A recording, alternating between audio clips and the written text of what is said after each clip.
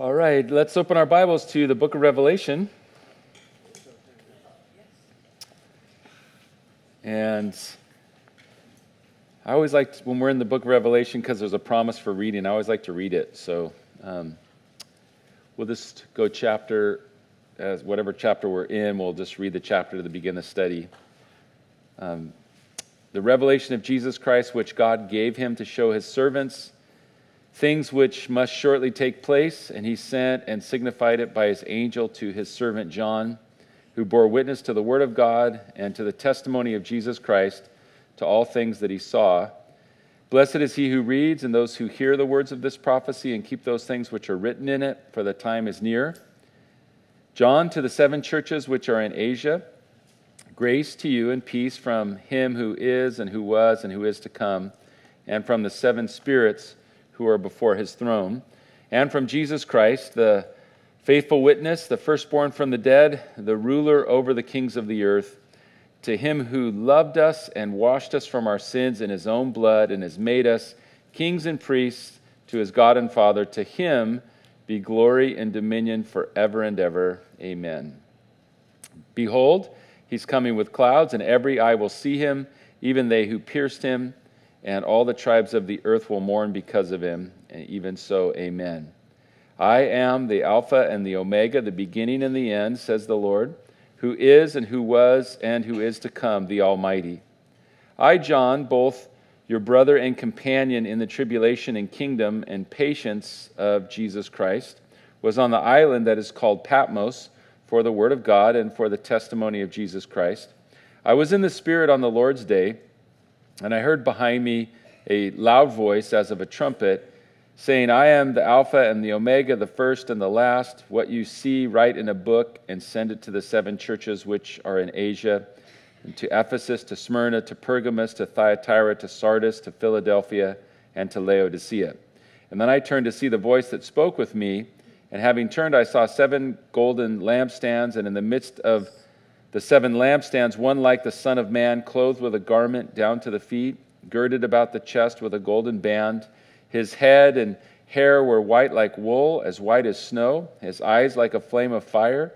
His feet were like fine brass, as if refined in a furnace, and his voice as the sound of many waters. He had in his right hand seven stars. Out of his mouth went a sharp two edged sword, and his countenance was like the sun shining in its strength. When I saw him, I fell at his feet as dead. But he laid his right hand on me, saying to me, Do not be afraid. I am the first and the last. I am he who lives and was dead, and behold, I'm alive forevermore. Amen. And I have the keys of Hades and of death. Write the things which you've seen, and the things which are, and the things which will take place after this. The mystery of the seven stars which you saw in my right hand, and the seven golden lampstands the seven stars are the angels of the seven churches, and the seven lampstands which you saw are the seven churches. So we're introduced to uh, this book that will come to us. Uh, it, it, the setting uh, in which it's delivered to John is given to us very briefly. Uh, we're told that he's in exile on an island that's called Patmos, and that God gave this message to Jesus and that Jesus sent and signified it to John by his angel. So uh, John has uh, a vision here of Jesus where he sees Jesus uh, glorified. And then chapter 2 and 3 are the beginning of the message, and they're specific messages to the seven churches that are referenced uh, here in chapter 1. So uh, that's just the introduction. We'll have an outline for the whole book in this chapter. Uh, verse 19 if you want to try to understand the book of Revelation, you want a really simple, a real simple outline. Uh, he says, Write the things which you've seen, the things which are, and the things which will take place after this. So, write the things you've seen, that's going to be chapter one. The things that are, that's chapters two and three. The things that are going to happen after this, that's chapter four to the end. So, you guys that like real simple uh, outlines, that's a real simple outline. Now, if you Google Revelation timeline or Revelation outline, you will find some very complicated uh, timelines and outlines of the book of Revelation. Uh, there's different views that people have of the book of Revelation, but uh, I like what Jesus tells John here. You're going to write the things you see, which is the vision that he has right here. The things which are, that's the state of the churches, chapters 2 and 3. And then chapter 4, even the very words in the original language, meta metatauta, or after these things, after this. Uh, it's actually the same exact phrase that's used. And so John's going to see what he sees on the island, a state of affairs that exist, and then what's going to happen in the future. So the book of Revelation is uh, an unfolding of, of events that will take place. And that's what we get back in verse 1. Uh, the revelation of Jesus Christ, uh, which God gave him to show his servants the things which must shortly take place. The word translated as shortly uh, can have two meanings. The first and most often way that the word is used it has to do with sudden, suddenly or quickly. And because it means that, it's also used to signify something that's going to happen in a short amount of time. So uh, this message was given 2,000 years ago. So I guess if one day is like a thousand years, a thousand years is like one day, then it's only given two days ago. So if time is irrelevant to you, then you can say, hey, this is going to happen soon. It's been two days. Like, Lord, it's been 2,000 years. Um, definitely, though, I think uh, when you think of Jesus teaching on um, his return or the end of, of days, the emphasis from Jesus is about the suddenness of it. That he talks about watching and being ready and being aware and don't let it come upon you like a thief. And he warns it will come like a thief. Behold, I'll come, it'll be like a thief in the night. No man knows the day or the hour. So I think the emphasis from the Lord was that, yes, it, we need to not think of this as something that's going to be so remote in the future that we don't really have to worry about it ourselves. We need to think of it in terms of it's happening soon because of the crucial attitude of the suddenness of it. If you, have you ever been robbed? Isn't that a, it's a terrible feeling? You think, oh, I thought I heard a noise outside. We had our van over 20 years ago. Our van was stolen off our driveway. Oh man, I was so mad. I, I, was, I came out, and I, at first I came out, it wasn't parked in the driveway. And so I somehow, you know, I don't know how your brain is, but I started looking down the street for where it was. I, and I, and I, I'm looking this way, and I'm like, man, it's not parked down there. It's not parked. And then all of a sudden, I'm like, wait, have you ever parked your van way down the street? You know, like, what am I doing? And it, it was like, man, a thief came, and oh, you know, we just weren't ready. And and so Jesus makes an emphasis on being ready. And, and I think that uh, one, you know, if you even tell people like, oh, you should come to church, check it out, you know, uh, we're going through the book of Revelation, you're going to get scoffers. I mean, Peter warned and said scoffers are going to come. Say, where's the promise of his coming? Everything's going as it's always been. Uh, we're warned from the first century on, it's been the same. There's people that scoff and go, everybody's been saying, everybody thinks they're the. Like, you know what? One generation, like, if you're the generation that it is the time, and you're a scoffer, that is the wrong time to be a scoffer. when is the right time to be a scoffer? Never. That would be dumb. it's like the person that's, you know, uh, mocking God's going to keep his promise. Are you kidding? No, God's going to do it. And if, it, if I was wrong and I lived my life with the sense of the immediacy of the return of Jesus, am I going to regret that?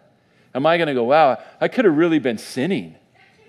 Man, I could have I could have really procrastinated on a bunch of stuff, man. The Lord, I mean, I, I could have delayed obedience on so many things. Why did I sacrifice? Why did I live so much for heaven? I could have really lived for my flesh. No. Uh, these, are, these are the things that are going to happen suddenly, and we need to think of them in terms, the phrase that's used by the, the, the, the, Christi, the Christianese, the Christian term is imminence, the imminent return of Christ. That, that uh, every generation of believers ought to be living as though, hey, we don't know when this stuff's going to happen. I mean, we need to be ready. And uh, just because other generations thought that it was going to happen in their day doesn't somehow get me off the hook. I don't know how you could look at the times that we're living in and not lift up your head and say, our redemption draws near.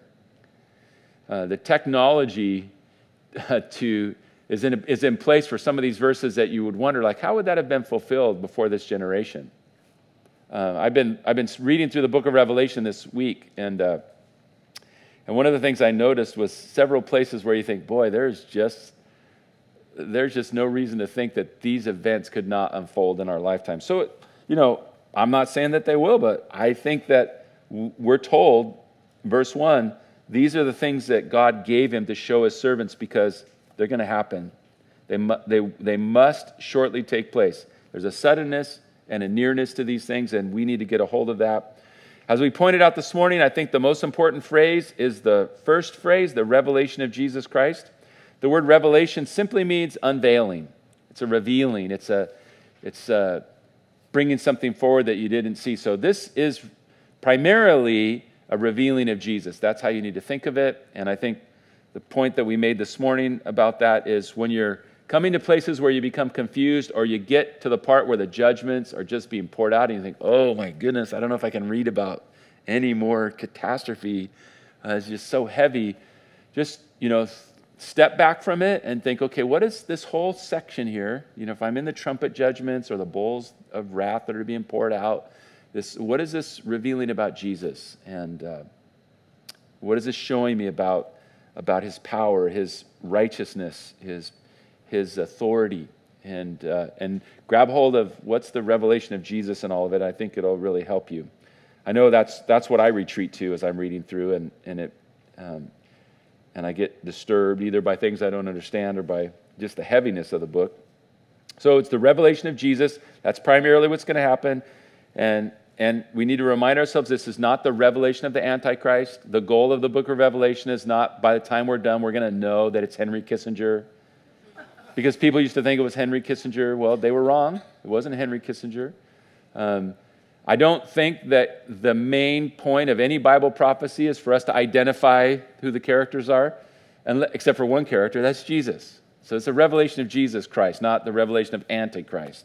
We're not interested in the one who will take Jesus' place. So uh, he's coming. We know when he comes, you'll go, yep, yep, there he is. He's making everybody take a mark. Or if our view of the rapture is correct, you won't even have to worry about it. You'll be snatched out of here. You're, you know, the presence of the church in the world is what's restraining him, according to 1 Thessalonians, if you read it a certain way, the way we read it. So, or I should say the way I read it. So, the revelation of Jesus Christ, which God gave him to show his servants the things which must shortly take place, he sent and signified it by his angel to his servant John. So, this is the John that we read about in the Gospels, one of the original of the 12 disciples of Jesus written probably around 95 AD. So this lets you know that John was a young guy when he was with Jesus. He's now an elderly man. And according to church tradition, during the persecution uh, of the emperor, I think Domitian, um, John, uh, according to the tradition, is, is, has been boiled in oil and somehow survived and had his eyes gouged out, and they put him in exile on this island. So, what do you do with someone when you try to kill them and you can't kill them? You put him in exile. like, okay, well, we'll let you live, you know. And uh, that's according to the church uh, account of this, the church history. Um, so he's on the island of Patmos and he gets this message uh, from Jesus. Uh, verse 2, he describes himself. He's the one who bore witness to the word of God and to the testimony of Jesus Christ to all the things that he saw. It's interesting that John gets to give us the Gospel of John, the account of the historical three years, primarily the three years of ministry of Jesus with his disciples, dying on the cross, rising from the dead. And then John also gets to give us the revelation, the future ministry of Jesus. What a privilege. What a, what a blessing. Remember when John and his brother came to Jesus and said, We know what we want you to do in our lives. We want to sit at your right hand and your left hand when you come into your kingdom.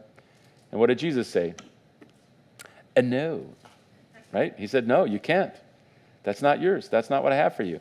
But, you know, Jesus came into his kingdom and there were two guys on his right hand and his left hand. Who were they?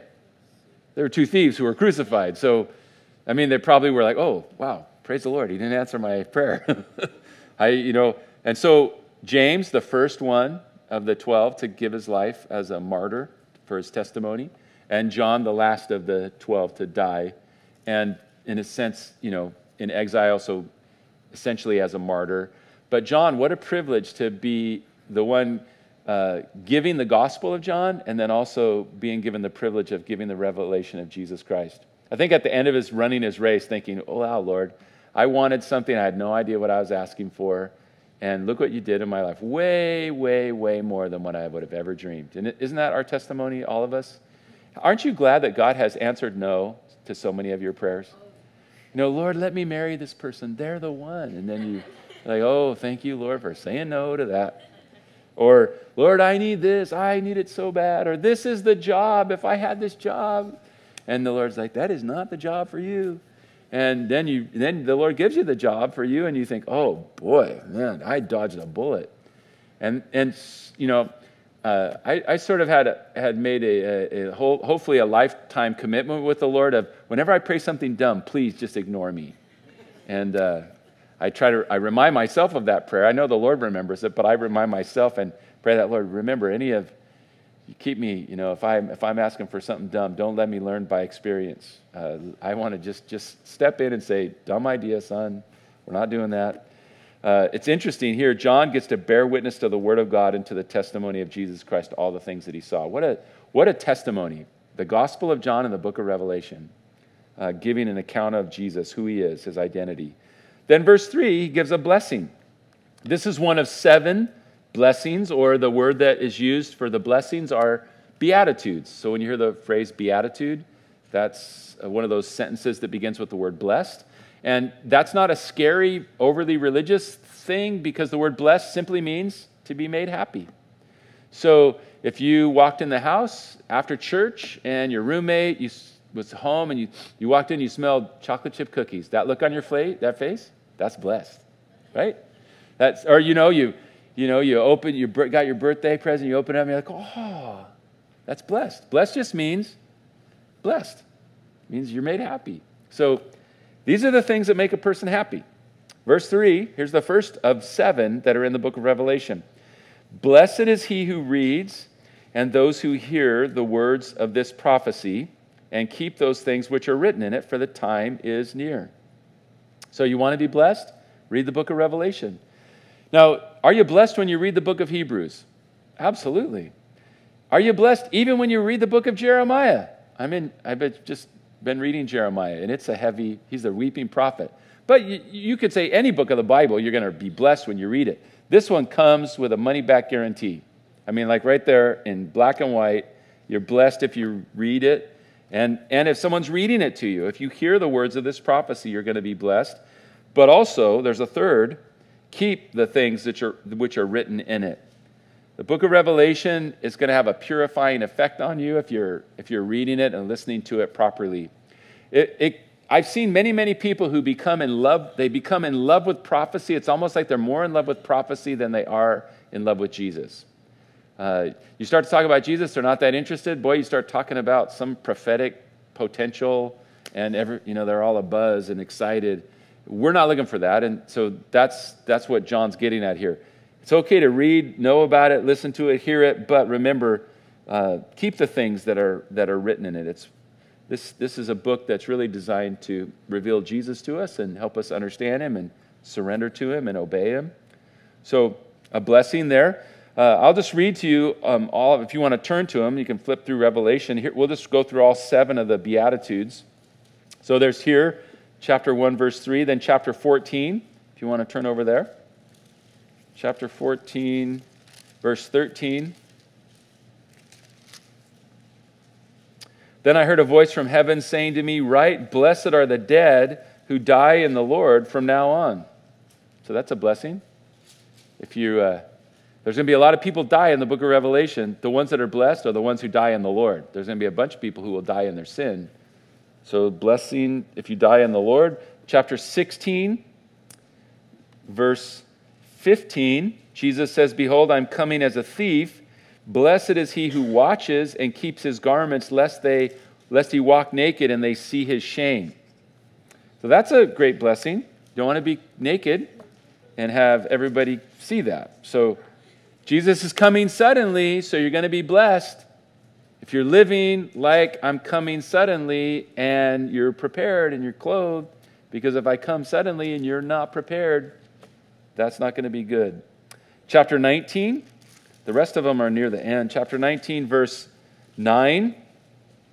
He said to me, Write, blessed are those who, who are called to the marriage supper of the Lamb. What an awesome blessing that's going to be. Do you realize that Jesus is going to throw a feast? A marriage supper of the Lamb. The marriage of the Lamb to his bride, the church taken out of the world and now the, the expression of that and this wonderful celebration. So blessed to be part of that. Chapter 20, verse 6. Blessed and holy is he who has part in the first resurrection. Over such, the second death has no power.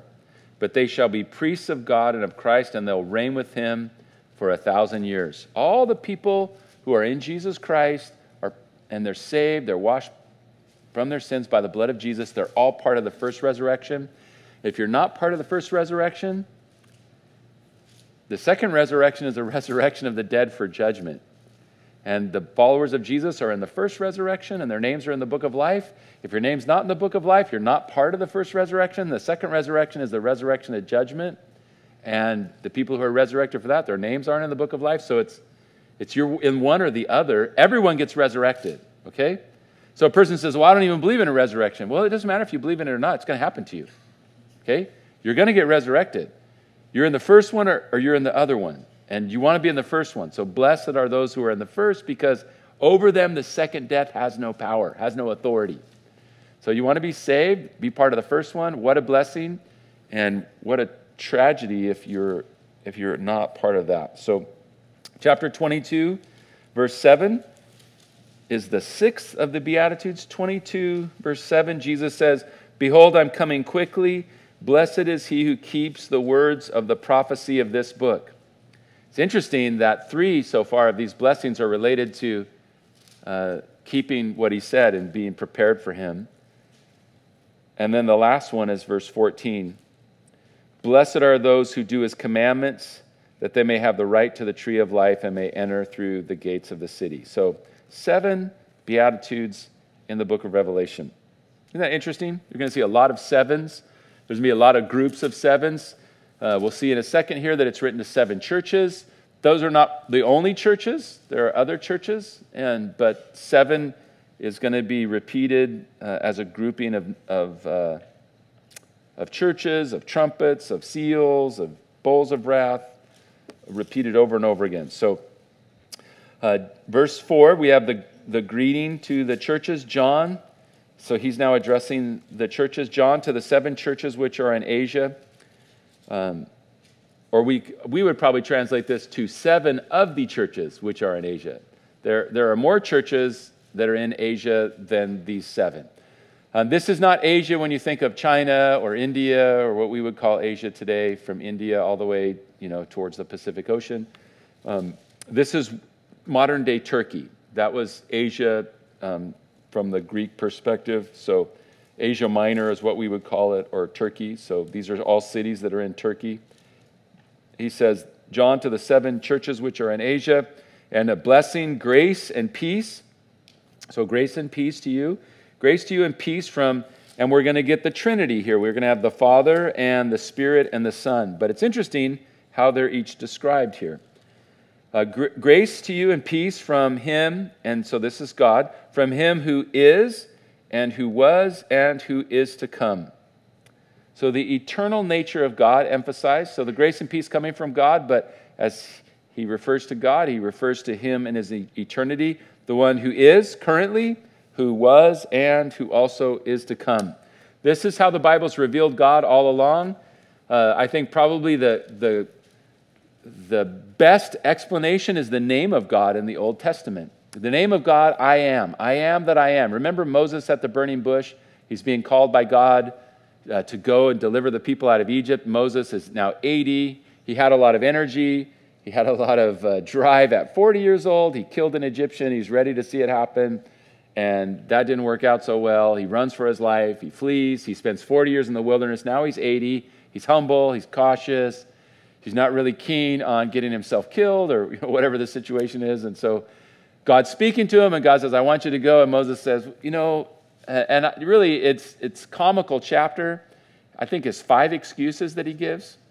Uh, when, I mean, if you're talking to a bush, I think you need to give up excuse making. If you've, if you've already begun to respond to the bush uh, and it's talking to you and you're answering it back, I think you need to set your excuses aside. But he, one of his excuses, he says, Well, what if they ask me what your name is? I don't even know. I say, like, Bushy, talk to me. You know, like, I don't know. I just saw this thing. What if they ask me? And then God said this I am that I am. It's a verb. I am that I am. You tell them, I am sent me to you. Now, Hebrew has a, a certain uh, verbal expression that's different than anything we have in English. The, the way that that word is expressed there is not like any way we could express something directly in English. In English, we'd have to say this the one who is, and who was, and who is to come. That's, that's exactly how you'd say it, not having the Hebrew form of the verb. The Hebrew means I am, I is, and I am. I am aming. I will be. Like it's all one. I, I is right now, I is was, and I is will be. I am. And when God says I am, he means I was am, I am am, I will be am. And, and it, it means all the tenses past, present, future. We, we don't, we'd have to say the one who is. God is. Well, when we say that, we mean he, he was and he will be. And that's exactly the name of God. I am. And the name Jesus is I am, the same verb and the word Hebrew word for salvation. I am your salvation. Well, were you my salvation? Yeah, I was. And I am, and I will be. I always am your salvation. So the name of God, I am. So here it is the one who is, and who was, and who is to come. So grace and peace from him. And then he says this, and this is, again, uh, interesting, and I think this will help us as we start our study of some of the symbols in the book of Revelation. He says, from the seven spirits who are before his throne. Now, when we're talking about the Trinity or the nature of God, we say God's a Father and He's the Son and the Holy Spirit. There are three, and these three are one. There's one God, but eternally distinct with the Father and the Son and the Spirit. They're not uh, as though it's like, Hi, I'm the Father. Wait, hold on. I'm Jesus. Oh, wait, hold on. I'm the Holy Spirit there's, there's some false teachings in different directions related to the Trinity. It's hard for us to get our brain around it in terms of there's nothing in nature where you have three distinct and yet three being one. Uh, it's hard for us to explain it. Now, we get that, we've accepted it, but then you come to a passage like this and says, wait, seven spirits? Oh man, no, you messed up. I was I didn't even understand the Trinity. Now you're what do you mean seven spirits who are before his throne? I thought there's just one spirit. What's the answer? You know what the answer is? I have an answer. And this is going to be how we're going to try to answer a lot of our que- all of our questions, and some of them we'll be able to answer, some of them we won't. Um, but here, I think, is a way to answer this. When he says the seven spirits who are before his throne, is there any other place where God's talked about the Spirit and there's been a reference to seven, seven spirits? Let's turn back to Isaiah, Isaiah chapter 11.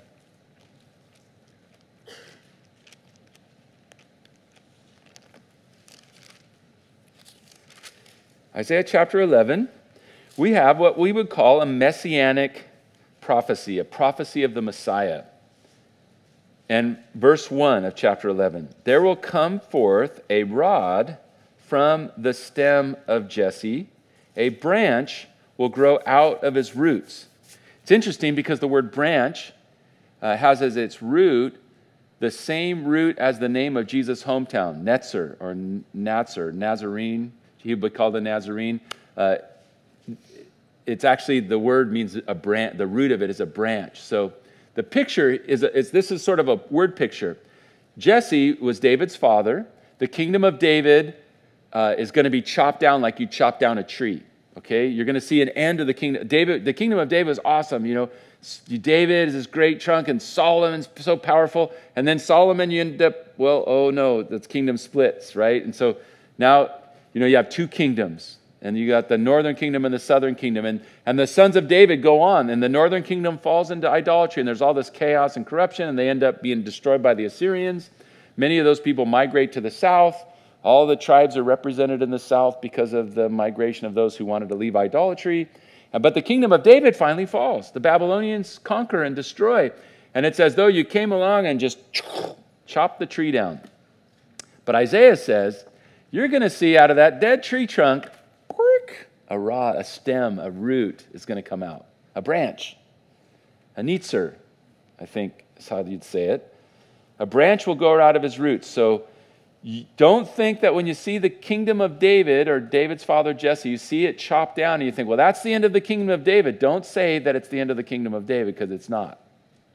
It's going to look like it's chopped down, but out of that is going to come a root. Is that hap- did that happen or not? That has happened actually. When Isaiah's writing, had it happened? No. Isaiah's writing 150 years before the kingdom of David falls, roughly 100, 120 years or something. So uh, it hasn't happened in Isaiah's day, but he's telling us hey, listen, uh, you're going to see out of the roots and out of the stem of Jesse this branch come up. A rod is going to grow up, some new growth. And then look at verse 2. About this person who comes, it says, The Spirit of the Lord will rest upon him the spirit of wisdom and understanding, the spirit of counsel and might, the spirit of knowledge and of the fear of the Lord. Verse 3 to go on for just a couple of verses. His delight is in the fear of the Lord. He will not judge by the sight of the eyes, nor decide by the hearing of his ears, but with righteousness he will judge the poor and decide with equity for the meek of the earth. He will strike the earth with the rod of his mouth, and with the breath of his lips he'll slay the wicked, and goes on. Now, who is he talking about? Isaiah 11 is about Jesus, right? The Spirit of God is going to rest upon this person. It's going to look like David's wiped out, but don't think that that's the end because someone's going to come out. And that person that's going to come, he's going to have the Spirit of God upon him, and he, and he describes his ministry. So look at verse 2. How many spirits are going to rest upon Jesus? The Spirit of the Lord, the Spirit of wisdom, understanding, counsel, might, knowledge, and the fear of the Lord. How many is that? I counted seven. So, how many spirits are there in that verse? I'd say it's one. So, you know, I don't think it's like the seven dwarfs of the spirit that are like, I'm, I'm understanding, I'm dopey, or no, that it's not there. Spirit of dopey. Uh, I don't think these are, well, there's a spirit of wisdom, there's a spirit of understanding, there's a different spirit that's this one. Uh, I think it's, it's a, it's a, it's a um, prophetic uh, expression of the perfection of the Spirit. And the way that the book of Revelation is going to refer to the Holy Spirit is in, in this sense of the, the fullness of the Spirit expressed as the seven spirits or the sevenfold Spirit, or seven spirits literally. So uh, in the Old Testament, we have here seven spirits, and they're all referring to the one Holy Spirit. So personally, that's how I interpret it. Now, if, if, you, if that doesn't satisfy you, um, find some other thing to satisfy you because this is not the only time he says this. Okay? So look at chapter, go back to Revelation, look at Revelation chapter 3, verse 1. When we get into the seven letters of the seven churches, you'll see that each one of the letters starts with a reference to some part of the vision. And the the revelation of Jesus that's in chapter 1, some aspect of his nature is, is brought forward and, and, uh, and is kind of the basis for the message. So, chapter 3, verse 1 To the angel of the church in Sardis, write these things says he who has the seven spirits of God and the seven stars. So, it's referred to there. Also, look at chapter 4 chapter 4, verse 5, when John's then after these things, when he's up in heaven and he begins to see the future, he sees the heavenly scene in chapter 4, verse 5. From the throne proceed lightnings, thundering, and voices. Seven lamps of fire were burning before the throne, which are the seven spirits of God. So, seven lamps burning, but those seven lamps are actually signifying the seven spirits of God. Now, we know there's only one Spirit of God, so um, we're going to have to interpret this in light of other scripture, which I think the Isaiah passage is probably the best. And then, chapter 5, verse 6. I looked, and behold, in the midst of the throne and of the four living creatures, and in the midst of the elders, stood a lamb, as though it had been slain, having seven horns and seven eyes. And the seven eyes are signifying something which are the seven spirits of God sent out into all the earth. So, seven lamps, well, those are a symbol of what? Of the seven spirits of God. The seven eyes that you see in this chapter, well, those are actually symbolic of what? They're symbolic of the seven spirits of God. And you say, well, I don't even know what the seven spirits of God are. You're totally confusing me. Exactly. Uh, all of these, all of these passages when he's going to say, if this is used symbolically, this is what it represents. We don't have to wonder what these seven fires are. He tells us that's the seven spirits of God. The seven eyes that he sees on the lamb, those are the seven spirits of God. You say, well, that's this is not this is confusing. Well, let's keep being confused. Turn to Zechariah. I just want you to see that these we've seen Isaiah talk about the Spirit of God, but then describe him in a sevenfold way. Then we see this repeated emphasis in Revelation of this seven related to the expression of the Spirit as seven spirits. The fullness of the Spirit is how I would interpret it and that it's repeated. So around the throne are these seven fires, but he says those seven fires that I'm seeing, John knows that, that that's a representation of the Spirit. And then the eyes that he sees in the Lamb, those are a representation of the Spirit. Now, the eyes on the Lamb, I want you to notice this. Remember the seven eyes? In Zechariah chapter 4, this is a really powerful passage. Very, very interesting prophecy. Chapter 3 of Zechariah. Then he showed me Joshua the high priest standing before the angel of the Lord, and Satan standing at his right hand to oppose him. What an ugly vision to have. Can you imagine how uncomfortable this would be? God's going to show you a vision, and the vision you get to see is the high priest of your day, and Satan right there, and Satan is going off on him. I mean, and listen, any one of us in this room, if we have a vision of any one of the others of us in the room, and there you are standing before God and Satan's going off on the person, you should be feeling sorry for the person because Satan probably has a lot of material. Oh, I can start. Let me tell you about their whole life. Oh, this is not going to be good for Rich. Oh, please, Lord, get him out. Like, Lord, rescue him. So he sees that. And then verse 2 thank God, you know, somebody intervenes and it's the Lord. The Lord said to Satan, The Lord rebuke you, Satan. The Lord who has chosen Jerusalem rebuke you. Is this not a brand plucked from the fire? Who's been snatched right out of the fire? Joshua, the high priest. I mean, Jerusalem is under the judgment, and, and this is after the captivity, and this guy's come back, but he's like a, he's like a, he just pulled, he's like a burnt log right out of the fire. Like, this guy's burned up, burned out, and there he is, and Satan's going, look at him, charcoal man, you know, he's all messed up. And the Lord says, hey, knock it off. Verse 3 Now Joshua was clothed with filthy garments, and he was standing before the angel. Wow. There's the accuser of the brethren and accuses them before God day and night. Here's this poor high priest in filthy garments. Satan has plenty to accuse him of. Verse 4 Then he answered and spoke to those who stood before him, saying, Well, you can't wait for this day, can you? Take away the filthy garments from him.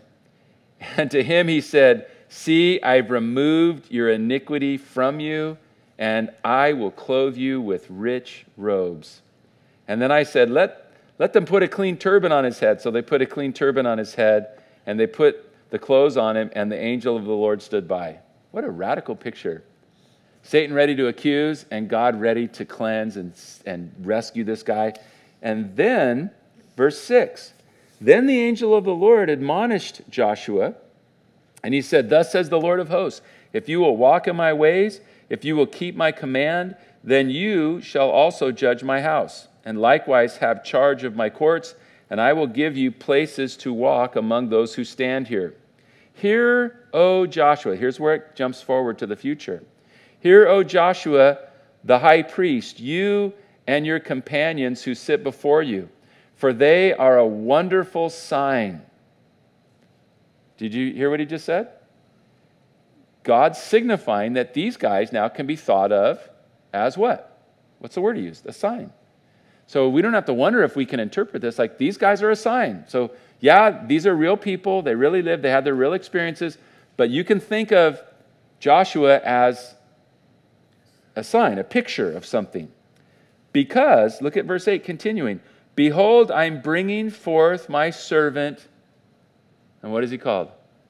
The branch. What Bible verse does that make you think of? How many Bible verses have we read so far tonight where Jesus was called the branch? How many can you find in the whole Old Testament where he's called the branch? Which one do you think of? I gave you a big clue. I read you only one. Right? You think, oh, that reminds me of Isaiah 11. He's the branch, the rod out of the stem of Jesse. And the Spirit of the Lord, the Spirit of wisdom, the Spirit of understanding, the Spirit of mind, the sevenfold Spirit of God is going to rest upon him. You, Joshua, are a sign, and I'm going to bring forth my servant the branch. Look at verse 9.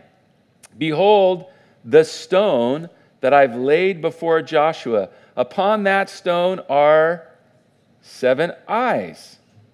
And behold, I will engrave its inscription, says the Lord. And look at the end of verse 9. Underline, if you're not an underliner, maybe break your rule on this one verse. This is a great verse. Look at the end of verse 9. And I will remove the iniquity of that land in one day. When did that happen? Is there, is there one particular day in history where God removed the iniquity of the land? Yeah. What day is that? It's the day Jesus Christ died on the cross. The branch that would come that Joshua is going to be a picture of. Now, you can read Zechariah chapter 4 for yourself, right? We get into this picture of these two trees, and we'll, we'll save it for later because the two trees are actually mentioned in Revelation. So um, you can s- save that for the, for, because we'll come back to this section um, in a few weeks. But the servant, the branch, the seven eyes. What did Revelation say? We read it in chapter 5, um, verse 6. The Lamb who has how many eyes? Seven eyes. And we're told the seven eyes are what? The seven spirits of God. And this passage that talks about the seven eyes reminds us of what other passage? The branch. So when you're when you come to the book of Revelation, you're going to be needing to go like this in your Bible, like a slinky. Why? Because most of the symbolism in the book of Revelation is going to be referred to some other place. All right? Now you might say, well, I would never have been able to do that. Rich, you, know the Bible and this is hard. Well, study the Bible, get better at it. Okay?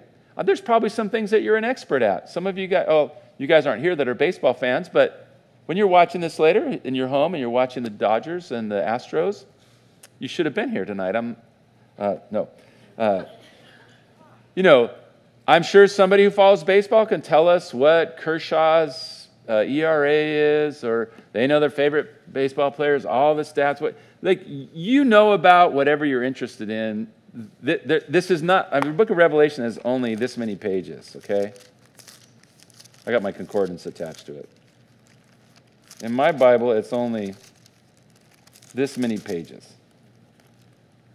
Okay? That's how many pages? That's not like unlimited amount. Okay? So, just to give you an exhortation, don't be intimidated by it. It's obviously it does take time. Don't beat yourself up that you don't know everything that you want to know. But you don't have to look at the book of Revelation as some magical book that you have to have eaten magic mushrooms to understand or only, you know, some people can understand it. No, just it's in the Bible, okay? Seven spirits of God. We, we looked at the passages that are re- relevant within the book of Revelation, and they reminded us of the passage in Zechariah. The passage in Zechariah took us right back to the passage in Isaiah. The stem that's from Jesse and the seven eyes, like, oh, that's, that's this. So the seven spirits of God, it's not saying that there's seven spirits in that sense. In this case, we're being reminded of the imagery that God's used to express to us the reality of his spirit. So there are, there are going to be times where we're looking at something that says it's like this, other times images that are used that help us to have a greater understanding. And there are sometimes, but very few times, but sometimes where we look and we go, I don't even know what that means. I'm not sure. And, and God didn't tell us everything we want to know. There's one place where uh, John starts to write down what he heard, and, and he's told, No, stop, don't write that. And I always get to that part of the book and I always go, Ah, oh, that probably would have helped us understand all the stuff we don't understand, and then you didn't give it to us. Um, so we got what we got. Um, thankfully, this first chapter, though, it's, it's, mostly interpretive for us. So that's the seven spirits before us. And I hope that helps you as you read that. You didn't, you know, get too confused by uh, wondering, well, what does he mean, seven spirits? So let's continue. So we had the nature of God, the eternal nature, Him who was and who is and is to come, the complete nature, this fullness of the Spirit, the seven spirits uh, who are before His throne, which reminds us of Zechariah and reminds us of Isaiah. And then verse 5 Jesus, and from Jesus Christ, the faithful witness, the firstborn from the dead, and the ruler over the kings of the earth. Jesus is the faithful witness. Now, that would be probably from the New Testament. Jesus is, is the perfect revelation of God. John chapter 1. John's the one who told us that he is the, the perfect, he's the Word of God become flesh. God wanted to express himself. Jesus is the perfect rep, rep, representation of God. He's the firstborn from the dead in that he's, he's above all, uh, the first out of the grave, but also really the one who has the place of preeminence, Paul says in Colossians chapter 1, verse 18. And here's part of the revelation of Jesus, the ruler of the kings of the earth, ruler over the kings of the earth. And this probably is a reference back also to Psalm 2. Remember in Psalm 2, uh, it's a psalm of the Father giving the Son the promises, and ask of me, and I will give you the nations for your inheritance. So the promise that's always been given to the Son as, of, as a king. He's going to fulfill the promises to David as a king. He's the ruler, and this book is going to give us the, the revelation of Jesus taking his rightful place as king of the earth. That's what we're going to see unfold in this book. So, having said that about Jesus, he then gives him a blessing. Um, he, he gives them a blessing from the Father and the Spirit and the Son, and then now he gives Jesus a blessing for this reason, in the middle of verse 5 To him who loved us and washed us from our sins in his own blood, and has made us kings and priests to his God and Father, to him be glory and dominion forever and ever. Amen. So he gives Jesus this blessing because of his work on the cross and his work in our lives. So I don't know if you realize this, but you've been made a king and a priest. So you're actually, as far as God's concerned, you're royalty and you have a ministry as a priest. Now you say, well, wait a minute, I'm a girl. I, I'm not a priest. Priest girls can't be priests. Well, apparently they can in Jesus' kingdom. So you're a priest. So if someone comes to you at Calvary Chapel and they go, hey, do you guys have priests here? And you go, well, I'm one of them. Uh, but you know, you can't really get too puffed up because everybody else is too. So, uh, but you know, it's would it not be true? It's like, well, well, uh, you know, who's the leader around here? Well, I don't know. I'm a king. Uh, well, I mean, that makes me a leader, but I'm a king. Like, oh, you're a king? Well, yeah, so are they, so is she, he is too. In the kingdom of God, well, God's, we're all joint heirs with Jesus. So he's, he's washed, he's taken away our sins, like that passage in Joshua. God's removed, God took away that guy's dirty robes and, and the accusations of the devil and took away the sin of the land. Jesus has washed us, and then he's, he's made us kings and priests. Awesome. To him be glory forever and ever. Amen. Then uh, this is part of the revelation. Behold, he's coming with the clouds. Every eye will see him, even those who pierced him. And all the tribes of the earth will mourn because of him. And he says, Even so, amen. Now, verse 7 is a reference to several passages in the Old Testament. He's coming with the clouds. Well, it might remind you of Jesus. Turn back to Matthew 24.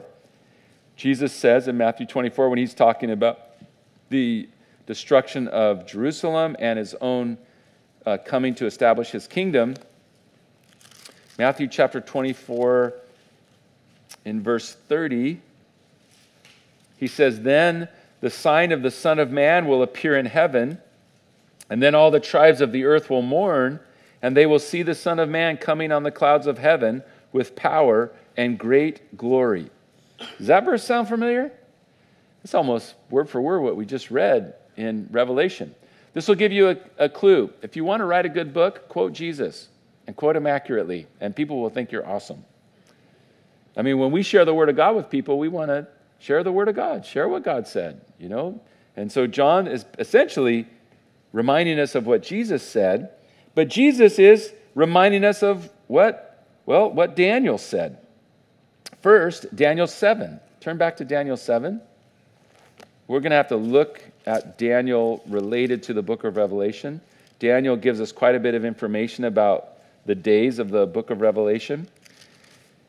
We won't get in, I won't give you a lot of background on chapter 7, but just as it relates to um, this particular passage, verses 13 and 14, he, as, as the kingdoms of the world unfold, and he, he finally then sees the establishment of the kingdom of God. Verse 13, he says, I was watching in the night visions, behold, one like the Son of Man coming with the clouds of heaven. He came to the Ancient of Days. They brought him near before him, And then to him was given dominion and, and glory and a kingdom that all peoples, nations, and languages should serve him. His dominion is an everlasting dominion which will not pass away, his kingdom, the one which will not be destroyed. So Daniel had seen a vision of kingdom, followed by kingdom, followed by kingdom, but in the days of the fourth kingdom, as it's revived with these ten kings, and this wicked king rises to power, then God's going to send one like the Son of Man coming with the clouds of heaven to establish the kingdom. And Jesus in Matthew 24 is claiming to be the fulfillment of this verse. Now, when some people say, well, I don't believe in Jesus as, you know, Messiah, but I think Jesus was a good teacher, you could, all, you could point to this and go, he's a lunatic. he's, he claims in Matthew 24 to be none other than this person that Daniel's talking about. He says, You're going to see me coming with the clouds. I'm this person. That's not a good teacher. If I do that, if I say, no, Daniel 7 is me, I'm not a good teacher, fire me, okay? You have permission to beat me and chase me out of the church building. And don't let me back in if I say I'm this guy. That's not a good teacher. That's, that's a person who's dangerous. Unless, of course, they are this person, and that's Jesus. So, coming with the clouds, that's a reference to Daniel 7. And then they'll look on him whom they pierced. Turn to Zechariah again. Zechariah is easy to find. If you can turn forward and find Matthew, Zechariah is only, there's Malachi and Zechariah right before Matthew. So if you can find Matthew, you can find Zechariah. Zechariah chapter 12, verse 10. God said, I will pour on the house of David and on the inhabitants of Jerusalem the spirit of grace and supplication, and then they will look on me, whom they pierced. That's interesting. Who are they going to look on? Who got pierced? Who's talking in Zechariah 4? Or Zechariah 12, I'm sorry. It's Zechariah 12, verse 10. I will pour on the inhabitants of David and on, on the house of David and on the inhabitants of Jerusalem the spirit of grace and supplication, and they will look on me, whom they pierced. And yes, they will mourn for him as one mourns for an only son, and they will grieve for him as one grieves for a firstborn. How interesting It's a prophecy of the return of the, of the, the Jewish people, and they'll recognize the one um, that they pierced, and they'll mourn for him as one mourns for a, an only son. So, um, this, go back to Revelation. This one verse, verse 7, he's coming with the clouds, and every eye will see him. Daniel 7, even those who pierced him, and all the tribes of the earth will mourn because of him. Zechariah chapter 12. So, two distinct references in only the one sentence. So when you're going through the book of Revelation, a lot of the places where you're reading are going to be pointing you back to the Old Testament. This is one of the reasons why I think it's really important for churches, for believers, to read the Old Testament. Uh, I've met people who say, "Well, I just read the Gospels." Well, man, you're gonna how are you gonna understand the Gospels if you don't under you know read?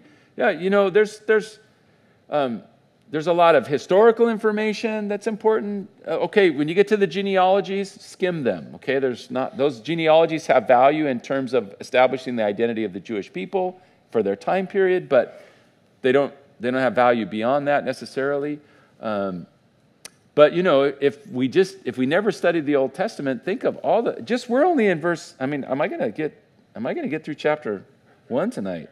I mean, we're just in verse 7, and how many passages in the Old Testament have we looked at to help us understand just the first few verses? So, um, of course, I'm preaching to the choir. We're going through the Bible. We're going to finish Revelation, and where are we going? We're going to go back to Genesis, and we're going to go do it again until. But I'm praying for the rapture before we're done. Okay, so, and I can't imagine how we could get through the Bible three whole times without the Lord coming back. And I'm pretty sure there's no way we'll be able to do it four times. Steve Edel, I mean, uh, he's keeping track of these. So he's like, I was 55 when you started last time. And man, I don't know. Like next time I would be like, I'm going slow. And now you could be like, be like 90 if you keep slowing down. I'll go faster, Steve. Just start like one week, be done in a week. We're to just. So all that to all that to just make the point. Don't be afraid of the Old Testament. Okay, don't be afraid of it. Read it. Um, you know, some of it's historical, some of it's amazing prophecy, though, that like that passage in, in Joshua or Zechariah about Joshua the high priest, where there's a prophecy that says, God says, I will remove the iniquity of the land in one day. What a radical prophecy. Uh, one of m- many, many prophecies that we have. So that gets us through verse 7. Then we have verse 8. I'm the Alpha and the Omega, the beginning and the end, says the Lord who is and who was and who is to come, the Almighty. Who is talking in verse 8? Well, it's the Lord, right? That's what we have. Adonai, you know, the, the Lord. Um, who's the Lord? Well, we say, well, Jesus is Lord. So you could say, verse 8, Jesus is talking. You could also say, well, it could be God the Father speaking. He's the Alpha and the Omega, the beginning and the end. We already had in verse, uh, verse 4 grace and peace from him who is and who was and who is to come. Who's that a reference to? That's God the Father. But then verse 8 says, the Lord who is and who was and who is to come, the Almighty. So you could say, well, verse 8, that's, let's say it's God, it's the Almighty. So that's the Father, the Alpha and the Omega, the beginning and the end. I'm just setting you up because Jesus is going to claim to be the first and the last and the Alpha and the Omega later. It's interchangeable, right? So when somebody has a problem with the identity of Jesus as the unique and only begotten Son of God that makes him one with God, the Father and the Son and the Spirit, you have a real problem with the book of Revelation because Jesus is no one else but God. There's no way around it. So, verse 9 I, John, both your brother, will get into the thing that he sees. He gives the setting I am your brother and your companion in the tribulation and the kingdom and the patience of Jesus Christ. Interesting, he doesn't call himself an apostle. I'm your brother, I'm your companion. And what do I share with you? Tribulation, the kingdom, and the patience of Jesus. So, what are our lives going to be marked by here on the earth? What are we are, are we in the same brotherhood as what John's talking about? Are you in the same brotherhood where you work or where you go to school or where you are you in the are you in the same brotherhood of patience and tribulation and the kingdom? Yeah, you say, yeah, I, I think I'm qualified. I'm in that club. That's the that's my membership. I got some. I, I, they're checking. I'm, I'm almost going to get one free. I got all my ten boxes checked for all those. I got some of that stuff going on. Well, that's that's that's uh, the way it is for us on earth. We're brothers and we share, we're companions in tribulation and kingdom and patience of Jesus. He says, I'm on the island that's called Patmos. And why was I there? For the word of God and for the testimony of Jesus Christ. He was being persecuted for being a follower of Jesus. That's it. That was his crime. Verse 10 I was in the Spirit on the Lord's day. That's an interesting reference. What day, what day is the Lord's day? Well, what, what day is the Sabbath day? Sabbath day is the seventh day. It's the last day of the week. Which day is the Lord's day? It's the first day of the week. When someone comes and gives you grief and beef because you go to church on Sunday and they say, oh, it's worshiping the sun, remember that Saturday is named after Saturnalia. That's a totally pagan god. So, I mean, you, well, you go to worship on, you go to worship on Saturday. That's, you worshiping Saturnalia? you know, it's just a stupid Roman name of the day.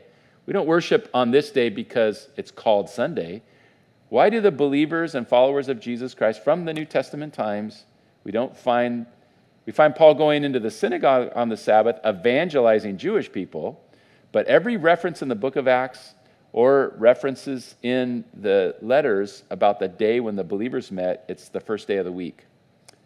And why do the believers in Jesus meet on the first day of the week? It's what I like to call Easter every week. And that's the way I see it. Paul said, listen, if you want to think of one day as better than the other, and by the way, if you're here and you say, well, I'd really like to keep a Sabbath, that helps me. It helps me keep my mind clear. I take a day of rest. Paul, the Bible says, go for it. But just remember, that doesn't make you better than the rest of us. And that doesn't mean that because you have that conviction, that we have to have that conviction. There's great liberty. So Paul says one person thinks of every day as the same, one person thinks of one day as better. He said, just, just do what's your own conviction, but don't think that one day makes you better, the other day makes you less, and don't judge each other. But here, the, I was in the Spirit on the Lord's day. It's a reference to the first day of the week. And I heard behind me a loud voice, and he said, like a trumpet. Uh, and this voice says, verse 11, I am the Alpha and the Omega, the first and the last. Well, remember verse 8? We weren't sure who was talking, but it was the Almighty. So we maybe say, well, I think that's God talking. He's the Almighty. He's the Alpha and the Omega. Well, a few verses later, we know who's talking here. This is Jesus, because the rest of the chapter is about this person. Um, He calls himself the Alpha and the Omega. So, how many Alpha and Omegas are you allowed to have in your alphabet? One alpha. I mean, like, that's the whole point of saying the A to the Z. You don't have, like, well, we have A and then subscript A. You know, God's the capital A and Jesus is the lowercase a. Uh, mean, I guess a cultist would say something like, you know, I mean, don't the Jehovah's Witnesses actually, when they say Jesus, in the beginning was the Word, and the Word was with God, and the Word was what? A God, little g. And you think, oh, Come on. Because in Greek, actually, the word order is flipped, and it says, In the beginning was the Word, and the Word was with God. And if you read it in Greek, it says, God was the Word. That's kind of hard to misinterpret right there. That's that, and if you look at it, get any Greek New Testament, it'll, you can look at the word order. So, I'm the Alpha and the Omega, the first and the last. That's, that's God, that's Jesus. So, here's his command what you see, remember, uh, we saw in verse uh, 19 the order, the, this, this very basic organization or outline. Write the things which you've seen. That's chapter 1. And that's what he says here in verse 11. Write the things, what you see, write in a book and send it to the seven churches which are in Asia. So, what you've seen, uh, the things which are, that's chapters 2 and 3, I believe, and then the things which will take place after this, the after this starts in verse or chapter 4. So, the churches are named uh, Ephesus, Smyrna, Pergamus, Thyatira, Sardis, Philadelphia, and Laodicea. You know another church in Asia, Asia Minor. It's actually a book in the New Testament. Colossians. Colossae is a city in Asia Minor. How did they get off this list? Well, did you read through chapters 2 and 3? Do you want Jesus writing you a letter and having it be public? Do we want to the church, Calvary Chapel in Elk Grove, California? I have this to say. Oh, please don't publish it, Lord. Don't put that on the internet. Please don't tweet it, God. Don't put that on your Facebook page.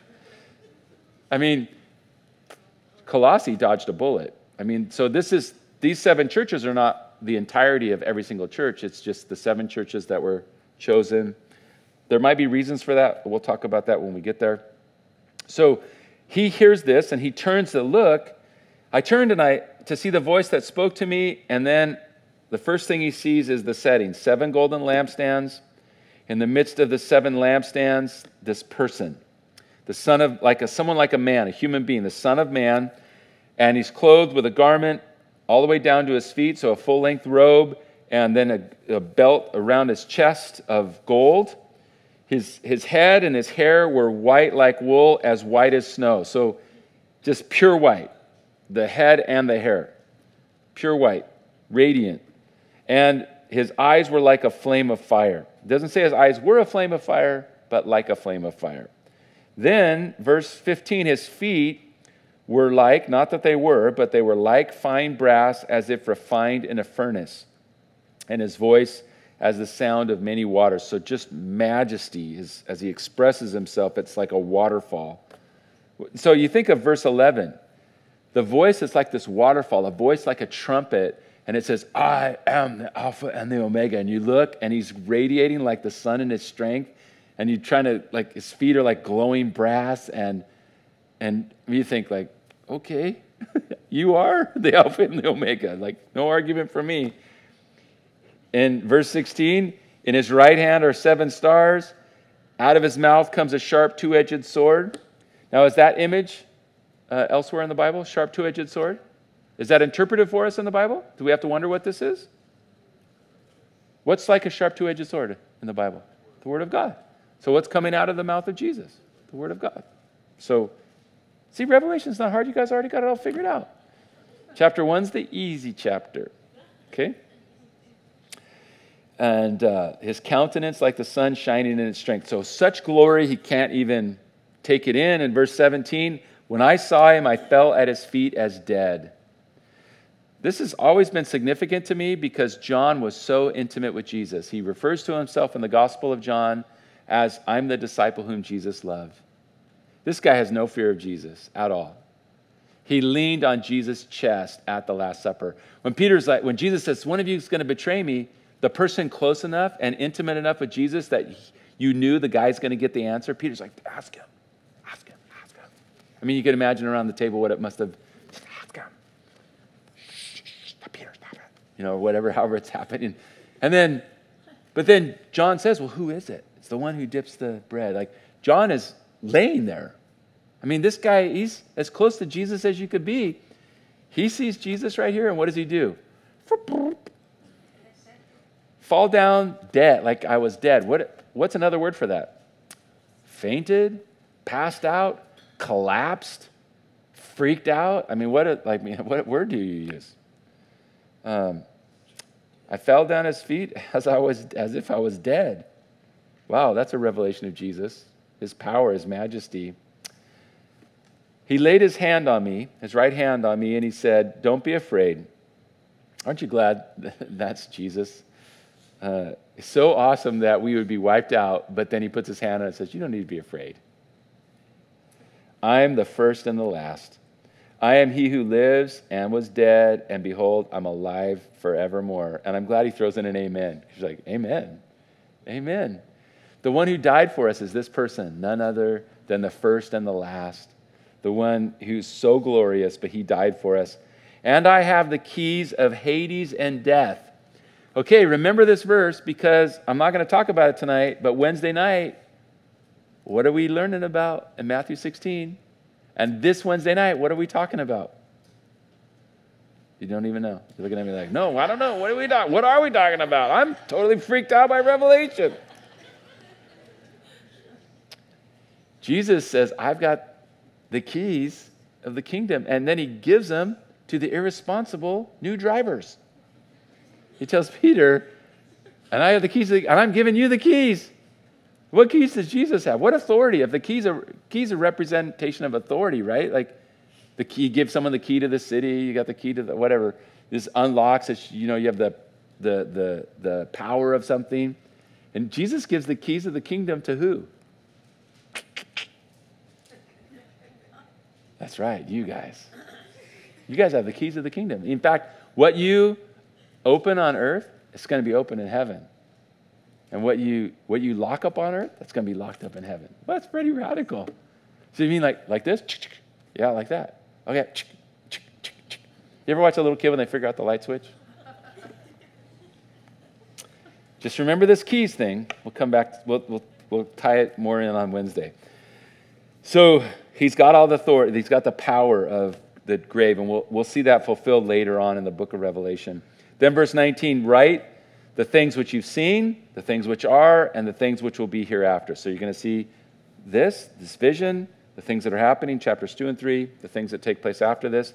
And then, verse 20, we, we don't have to wonder what the stars are in the lampstands. The mystery of the seven stars which you saw in my right hand, and the seven golden candlesticks, or seven golden lampstands. The seven stars are the angels of the seven churches, and the seven lampstands which you saw are the seven churches. So, they're symbols, but they represent something real. This is very important. When you're reading in the Bible and there's symbolic language, it's almost always referring to something real happening, some historical person or historical event.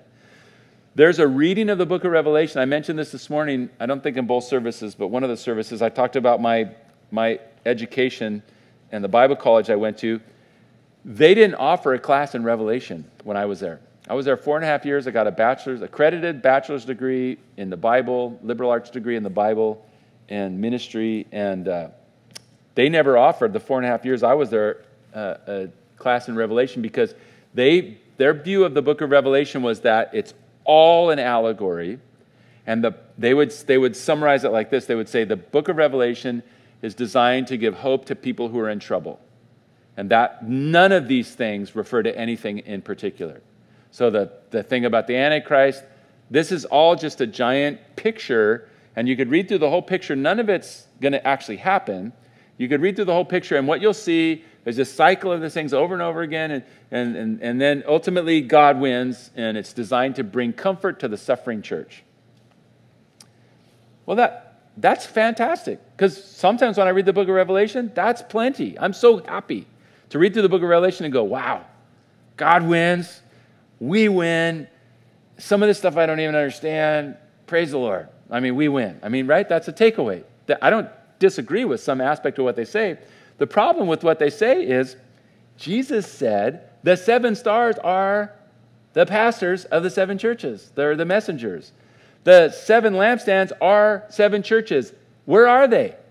They are Ephesus and Smyrna and Pergamum. I mean, he says these symbols mean these places. So, our view of the Bible is when there's symbolic language, we want to pay attention to the symbolic language and try to understand is it what's it referring to? Because God does use symbolism and when he does it's meaning something it's pointing to something. We don't really take the view of the Bible that God's speaking allegorically. And I'll give you an example. There's a prophecy in the Old Testament uh, in Micah that says out of you Bethlehem of Judah shall come forth a ruler. Now why is Bethlehem significant? Is there a famous person from Bethlehem besides Jesus? Yes his name is David. That's David's hometown. So you, well, the son of David, he's going to be born in Bethlehem. There's an easy way to allegorize that because Mary's pregnant, right? She's nine months pregnant. She's going to pop. And they live where? Not Bethlehem. They live in Nazareth. If God's nice, he can allegorize that passage. He can say, well, Bethlehem, you know what Bethlehem means? If you translate Bethlehem, it means house. Beth is house house of bread. Bethlehem is a house of bread. And who but Jesus brings us the bread of God, right? Jesus, the very bread of God. And when you say when we say house of bread in Micah 5 2, we don't mean literally the house of bread that he's born in Bethlehem. This poor girl, she's nine months pregnant. They live all the way in the north. It's going to be a terrible journey for her. Let's let her li- stay there by her family. She can have the baby. That's going to be way better than make this journey. What if they get down there? There's no place for them in the inn. What, is she going to have to give birth to the kid in a barn? Lay him in a manger? Let's just allegorize it. Where's Jesus born? Is Jesus the bread of God? Is it appropriate that he's born in a place called the house of bread? Absolutely. Where was he actually born? There. When, when, you're reading the Bible, basically it means what it says. When it's using symbolic language, it still means what it says. The symbol's referring to something, and that something is going to happen. Now, most of the time, you can figure out what the symbols are referring to, most all the time.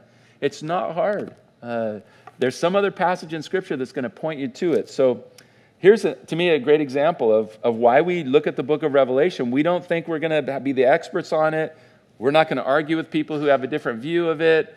We'll smile and say, you know, I've heard of that view, and you know, there's a lot of people, you know, I don't hold to that, but, but I don't. I'm not going to argue with you about it. But I, I would prefer to go to the book of Revelation because in this first chapter, every image that we've seen so far is interpreted for us in the Bible. Every single one in chapter one. Or it's interpreted by Jesus, okay? Um, he tells us the seven stars, what they are, the seven lampstands, what they are, and they're actually physical, real things. So the symbols that we'll find, so when you see a beast coming out of the sea, it's clearly symbolic language. Well, it's representing a kingdom. And we're told what it is it's the Antichrist. And he's going to come out, and we're told specific things that this individual is going to do. So to allegorize it seems to me to go against what we're introduced to through the whole scripture and especially even here at the beginning. So that's a little bit of a justification for how we're going to go through the book of Revelation. We, we think these are real events um, that are going to happen. And. Uh, we're going to look at prophecy like that.